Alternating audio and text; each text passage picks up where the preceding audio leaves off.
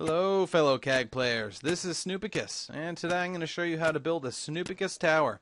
You may have seen this in game. I love building it, and I like raining down destruction on my enemies' heads uh, with the blocks by using it. So here's what we're going to do.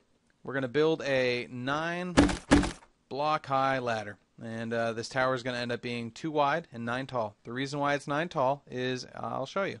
Uh, three, four, five, six, seven. If you drop a block from seven blocks or uh, lower, it just sticks to the ground. How about that? So, in, eff- in effect, you're basically building a ladder for your enemies if you're trying to drop blocks on them, but you're just putting little stones on the ground. So we're going to build it nine.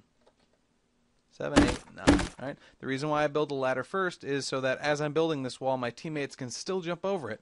It only saves a couple seconds over building the wall and then the ladder, but those seconds can really matter in the beginning of the game. So let's do this.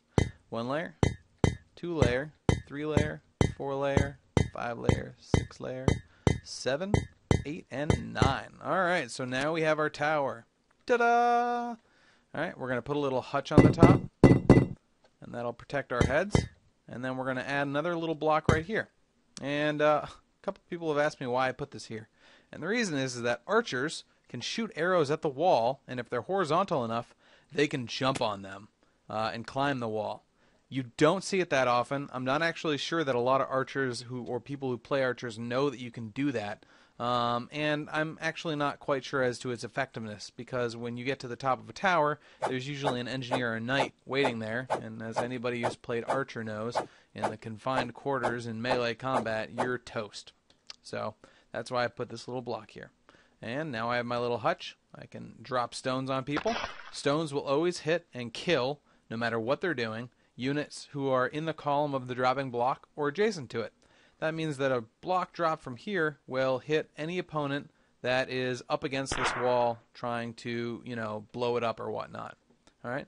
And then to get back up, I come down to this side, and if it's not a dangerous zone, I build a ladder. And then I start placing drawbridges. There. I'll just do that quickly. There we go. And now you can climb back up it. Um, this is fragile. It's a little more fragile than using uh, team doors inside of rock wall, uh, but it's very cheap. It only costs three wood, and uh, it's very fast to build. And I am always looking at cheap, efficient construction. So I'm going to improve on this tower with a second load of resources. Um, so let's go grab some of those right now. And I will take this time to uh, tell you why I always go behind the flag in order to dig resources. It's because I do not want to dig a tunnel for the enemy uh, to get into and tunnel under our defenses at any time in the future. So, uh, you know, a KAG game swings back and forth, and you will have enemies at you know, at your gates, so to speak. And uh, any tunnels that you've dug in order to get stone uh, in the past are going to really come back and bite you. The only place that it won't is behind your tent. So I almost always do my stone farming here unless I am in a really tight situation. Like I need some rocks to drop on people and there's nobody else to do it. So let's go and we're going to elaborate on our design here. This is the basic. Uh, the next thing I'll do is I'll strengthen this a lucky bomb kind of blows out a hole in the wall, we don't have to worry about it.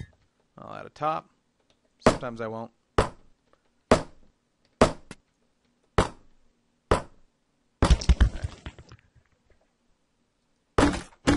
Uh, but what I will definitely do is add a uh, stone wall out here. There we go. There. Now archers can't hit me unless they get way down here, and my teammates can drop out of it however they want to. Uh, so that's good. And I can still drop my stones. Um, if I'm feeling really ambitious, I may put a catapult up here, in which case I'll put a stone there and build the catapult here. I don't have any wood for it, but uh, yeah. So that is Snoopicus's tower. If I were to further build on this, I know, I know, I'm just getting so complex now. All right. I'd build a little spike trap.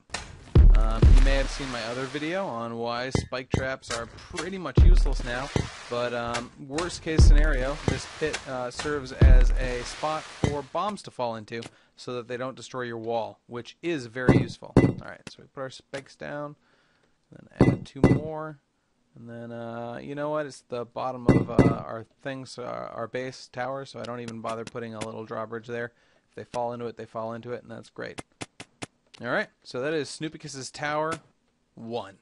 Catch you later.